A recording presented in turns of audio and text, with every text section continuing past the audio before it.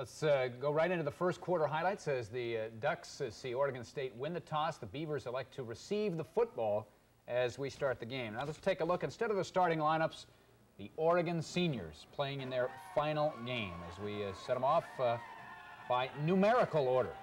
Oldham, Horton, Nelson, Penso, Darrell Reed. Loville, and as we look at the names, I'm sure you people will have a lot of memories of each and every one of these players, uh, one or two plays that you will remember for a long, long time. Guys up in the trenches there, the quintet. Kunzman, Obi, Merton, Teft, Jensen, Leroy Ali. Want to add Rich Walk, who was injured a couple of years ago, still helps out in the filming process for the Ducks. Record crowd, as we mentioned, and once again, the Ducks setting another attendance mark for per game average at Autzen Stadium. Good job here by Castle knocking the ball loose from Billy Hewley. And Roy Derry recovers on the opening play. Big break for us early in the game. You can see Castle just, he splits through the Oregon State blockers, comes right in, gets his left hand right on the ball and rips it out. Castle made a lot of plays in the kicking game uh, yesterday as well as on, in our Hawk group. Had an interception to boot. So the Ducks with great field position to start the game at the Oregon State 25-yard line. But the Beaver defense stiffens, holds, and on third down, Musgrave's pass uh, incomplete, and so Greg McCallum called upon to attempt a 40-yard field goal. Pretty disappointed here. We uh, three downs and uh, have to settle for a field goal after a big break like that, but at least we get the points on the board, and that's uh, critical in that situation. Tenth time in 11 games that I believe your team has scored first. Good job there by Mark Kearns uh, getting Chaffey for about a yard gain. Play action fake. They hit Ross out in the flat. Uh, Ross is an outstanding football player. Gain of 10 and a first down. Run the sweep out of the shotgun. We haven't seen that that much this year, and they kind of caught us off guard and get down there, uh, pick up about 12 yards. So another first down for Oregon State as uh, they have mixed the pass and the run here on their first drive. One of your keys you thought was uh, stopping Pat Chaffey against the run. It was, and it's a good job here by Andre Williams following the pulling tackle, getting in and making the hit along with LaBounty uh, for no gain. Uh, we didn't stop him very well early, mm -hmm. but uh, as the game wore on, the running game uh, was very, a very insignificant factor. Third down pass, incomplete, uh, looking for the tight end. Daryl Singleton on the coverage, and so Bennett called upon to punt, and this was quite a punt, would make a lot of golfers happy with the backspin on this one as it almost hits the goal line, but it bounces back and out of bounds at the five. So a tough field position to start for you. I wish I could hit my wedge that well. Wish I could hit any of mine that well. This one almost disaster. Sawfeld almost picked it off, might have had a touchdown. It really was. They, they blitzed and we went to the hot read and they covered the hot read and uh, nearly had an interception and dropped it. Just third and eight. Unbelievable catch. I was standing right in front of that and I'm saying, I'm looking at the ball, I'm looking at Terry, and I'm saying, well, there's no way he's going to get this one. And he goes up, gets it, and gets his foot down, as you can see, inbounds. Key third down to get the Ducks out of the hole. First and 10 from the 38-yard line. This is a real big drive, 95 yards. Here we come with the reverse. Obee coming up inside now. Gets tackled by Vladeck after a six-yard gain. But the Ducks eventually pick up a first down. This is second down and five. Another nice catch by Terry Obee. Over his shoulder on the corner route. You can see we're going to roll to the top of the screen. Good job by Latin Berry getting the outside backer down and Musgrave throws well. Man coverage. Obee makes a nice catch. Gain of 25. Ball now at the Oregon State 22. Big hole up inside for Loville takes it down deep into Oregon State territory. The ball is at the 11 after a gain of 11. And Latin Berry fights his way down to the 4. So it is second and goal from that spot. And on the next play, Derek Loville into the end zone for the touchdown. And the Ducks go 95 yards in 12 plays. Good job by Husko pulling around there. Good block by Latin Berry at the point of attack. And Derek uh, goes in for one of his many, many touchdowns, uh, adding to the record that he holds at Oregon. Only three players in Pac-10 history, that's Pac-10 history, have scored more touchdowns. That's, That's remarkable. pretty impressive. Nice play by Mark Kearns, tackling the Oregon State back for a three-yard loss. And Boer out after the next play with a sprained left knee, so she still comes in. He had started the season for Oregon State and uh, right on the money on his first attempt to Phil Ross. Very accurate passer, uh, obviously understands their offense well. Hit Chaffey in the backfield, but he gets back to the line of scrimmage. So second down and nine, the Ducks leading at 10 to nothing. This will be the final play that we see in the first quarter. Pass interference was called. Was it on Farwell or was it on somebody else downfield? Well, they gave me two different numbers of guys that weren't on the field. Uh, the only guy it could have been on, in my opinion, is Farwell, and I didn't th think he interfered. I thought it was a bad call. Ready for the second quarter. The Ducks leading the Beavers 10 to nothing. And as we pick up action in the second quarter, Oregon State has the football and is in Oregon territory at the 24. First play, Pat Chaffey, loss of one. Good job by Mark Kearns again. Andy Connor turns it right back into Kearns, and Kearns is there to make the tackle for a yard loss. So, third down and two. It's a bizarre series, as it turns out. You see on third down, good job again by the Duck defense, Williams and Cusano. No gain, fourth down and two. So the Beavers line up for a field goal, but it is no good. But the Ducks are called for running into the kicker, a five-yard penalty, and gives the Beavers a first down. But the Beavers unable to move the football. In fact, after a couple of penalties and this deflected pass, again, they're faced with a field goal situation. Fourth and 18. Now this time, they just don't get the ball held properly, and Cusano making sure nothing happens. Kind of reminds me of a play later in the fourth Later quarter of ours. Yeah, that's exactly right. So the Ducks come right back. They have scored on their first two possessions, trying to make it three out of three. Joe Reitzug on the out pattern picks up six yards. Another big game for Joe Reitzug. Second down and nine from the Oregon State 43. Got a little complaint about the, the Well, hit it was obviously overthrown, uh, uncatchable, and the Oregon State player, uh, I thought, created a personal foul on uh, Joe Reitzug, but they, they obviously didn't agree with me. Third down and at nine. Big play here. Musgrave to Hargain. Almost breaks away on that. He's made a lot of big catches this year. This one for a first down. Tony's had a real good year this year, obviously, and has one more year left. Uh, has made a lot of big catches and big plays, as you mentioned, and that's uh, one of them there, right there. The drive stalled, and so from the Oregon State 24, the snap and the field goal attempt from 41 yards, and McCallum Perfect again. And with that kick, breaks the all-time scoring record in a single season for the Ducks, passing Bobby Moore. Ahmad Rashad finished with 100 points. That's uh, quite a year.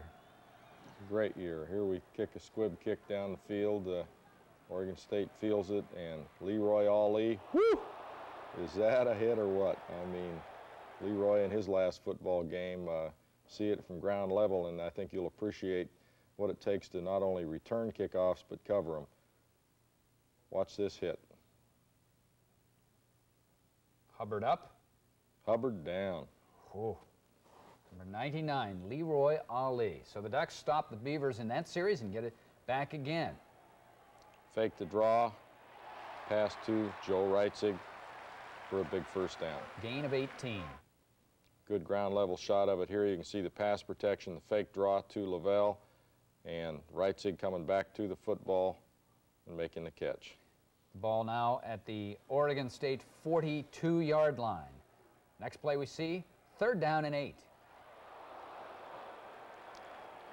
Tell you that guy is amazing. I mean, he he hangs on to the ball. Once it's there, it doesn't make any difference how he gets hit or where he gets hit.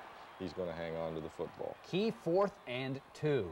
Fourth and two, we run the roll out here, and Musgrave really overthrows Obee, or that would have been a touchdown. Uh, Obee had to stretch to get it.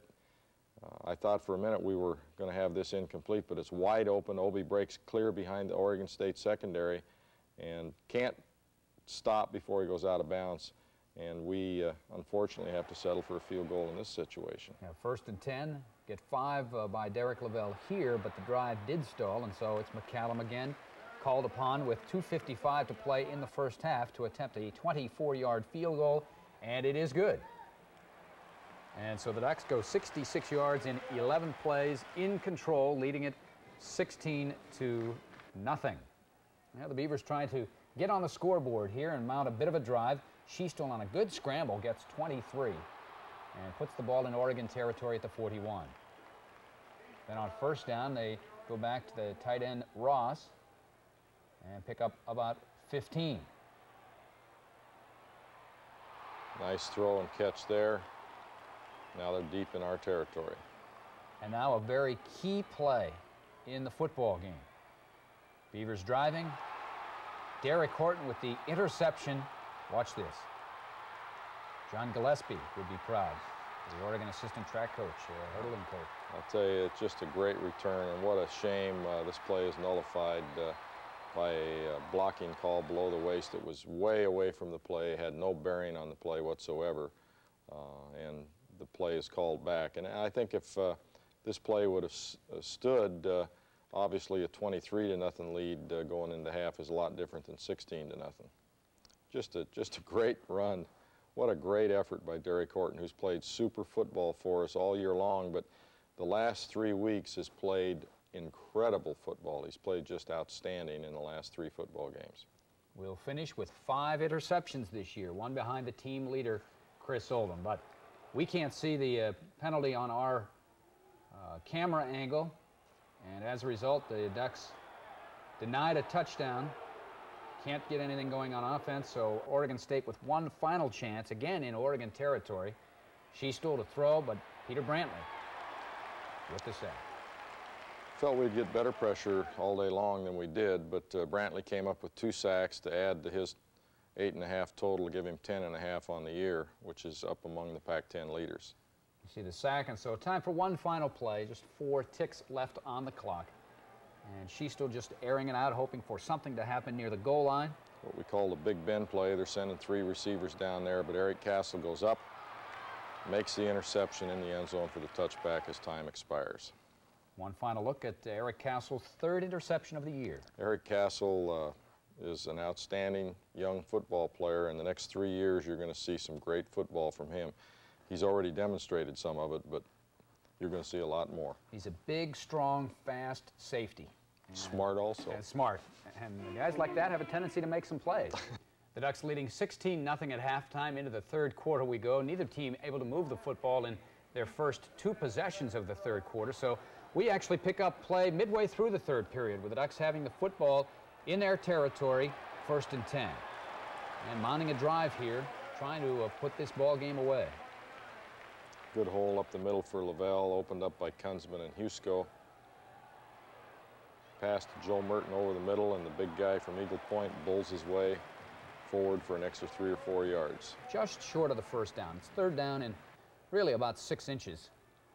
And Derek Loville over the top for the first down. Next play we see is a third down and eight from the 47. Loville just short of the first down. So it's fourth and one. And out around midfield, you decide to go for it. Well, we felt we needed to keep the momentum, and Loville makes a great run and a good straight arm there. Picks up the first down easily. Don't see that. It's kind of a lost art for running back these days, that straight arm. Key play right here, to say the least. Musgrave's pass is picked off by Billy Hewley and almost takes it for a touchdown. Musgrave holds him up, and finally the pursuit, Latin Berry and Company, uh, nudge Hewley out of bounds. So Oregon State with a big momentum changer, and uh, they're trying to capitalize, get some points on the board. Sweep uh, played very well by Bjarne Jensen, and Pitchford slips down for a two or three yard loss. Third down and 12. Third and 12, and we get called for pass interference, and they still catch the pass for the touchdown. Uh, will be assessed on the kickoff. Now they're going to run Chaffey in for the two-point conversion.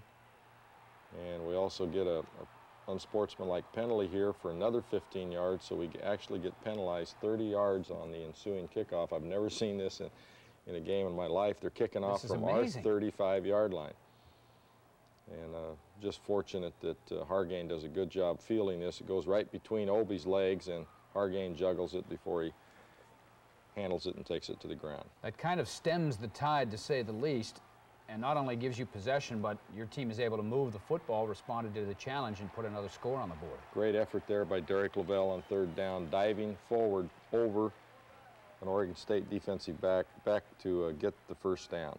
And that ended the third period.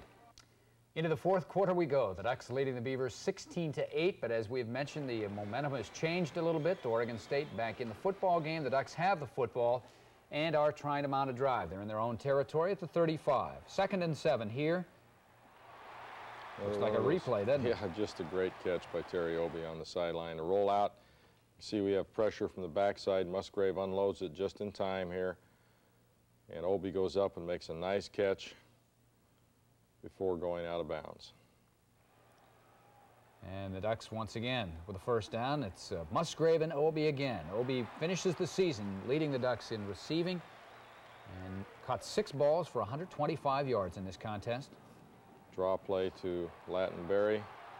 Breaks it down the sideline, just short of the first down. So the next play we see is first and 10 from the Oregon State 24-yard line. Musgrave. Obee looked like it might be intercepted, but it's Obee that comes down with the ball in the end zone. We'll take a look at it from the low camera angle. You'll be able to see Obee literally steals the ball. Just a great kid, good protection. Throws it up. Obee goes up over the top, pulls it right over Beck's uh, shoulder and, and, makes the reception for the TD. Great catch. Needless to say, that is our play of the game. A coach diagram as to why you thought this play might work and why it worked. Well, we have a lot of faith in our receivers, obviously, and Bill has even more faith in them. Uh, uh, it's just a straightforward pattern. We drop straight back, solid protection. Fullback goes one side, tailback the other, and we're sending our both receivers uh, on fly patterns up the field. and although it was fairly well covered, as you could see, uh, Musgrave laid the ball up over uh, Beck's shoulder, and Beck went up to make the play on it, but Obee came up over him uh, to take it away from him. Just a great individual effort by uh, Terry Obee. In other words, what you're saying is you can diagram plays, and if you have players that can execute and make the plays, then it looks awful good. That's right. They, they defended the play very well. Obee just made a great play. All right, let's look at it again, because this is really the backbreaker in a lot of respects. It proves to be the winning points in the game.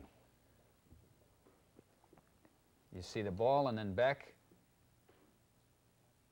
And it looks like the interception, but it's right there. Obee literally steals it. Terry has unbelievable concentration, as witnessed by the play he made it uh, in BYU a couple of weeks ago when he caught that ball. It was juggling in the end zone. So Oregon State comes back, though, and to their credit, they don't waste a lot of time in scoring as they come right down the field. Schiestel leading the way, Chaffey on the reception. Chaffey out of the backfield catches a big pass. Here Casano gets him for no gain. Second down and 10 from the Oregon 26. Bootleg pass here, pretty well covered. He pulls it down and Casano in pursuit tackles him for about a seven-yard gain. Ball now at the 14, come on the sweep. Pitchford cuts it back into the middle and goes to the Oregon two-yard line. And uh, two plays later, Pat Chaffey takes it in for the touchdown, and the Beavers have come right back. The score is now 23-14. They go for two. Big missed two-point conversion coming up here. So the pass underthrown, incomplete. So that means Oregon State must score twice to take the lead now. Ducks get the football back but are unable to move it. And so Oregon State with another possession. And again, it's Schiestel leading the way to Ross. gain of about 19 and a first down. Daryl Singleton found out how big Ross is, just ran right over him there. Second and six. Great play by Daryl Reed here. It is. Uh, gets his left hand in there and deflects the ball out. Uh, Daryl's played very, very well in his senior year. Third down and six. I was unable to ask Schiestel if he was throwing this away or if he was uh, literally trying to hit Chaffey, but that's how it worked out, a touchdown. Well, Chaffey was running a flat route. Kearns had him man-to-man, -man, and uh, as Schlichte started to scramble out there, Kearns came off of him, and he turned upfield, and the ball was there and a touchdown. Big play here on the draw, and Loville picks up 16 yards. And a first down. We'll look at it again. You can see at the top of your screen, good job by Husko and Dykes. Good block by Latin Berry on the linebacker. And off he goes, trying to get a block from Hargain downfield.